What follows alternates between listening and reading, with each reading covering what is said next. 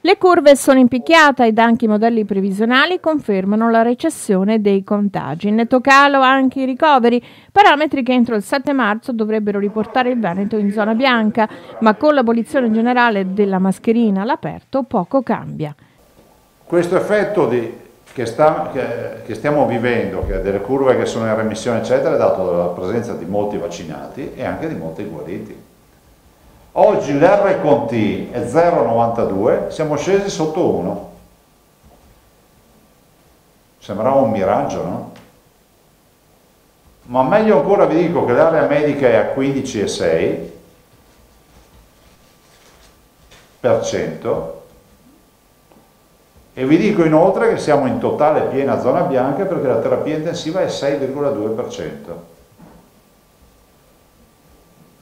Con un'incidenza di 1181 casi su 100.000. Qui 81, 1181 su 100.000. Quindi se i dati avranno questa conferma nei prossimi giorni, dal 7 marzo, sapete che ci vogliono due settimane di conferma, noi siamo zona bianca.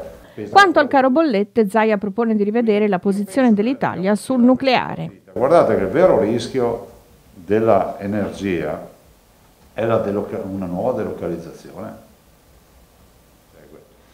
Certo è che il problema non lo risolviamo con, con, con, nuove trivellazioni, il problema è che qua dobbiamo decidere fare una scelta di campo rispetto al nucleare, punto.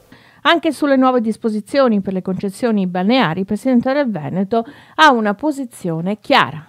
Allora io penso che il tema dei nostri delle nostre concessioni deve essere rispettoso della storia, dell'identità, dei sacrifici che hanno fatto i nostri concessionari. Io non faccio parte di quelli che credono che bisogna far gare dappertutto. E comunque se si faranno le gare perché l'Europa viene in casa nostra a dettare regole che io non condivido rispetto ai canoni al demanio, le si devono fare tenendo presente tutta una serie di, dire, di aggiustamenti rispetto a chi c'era quando nessuno si preoccupava di quelle aree.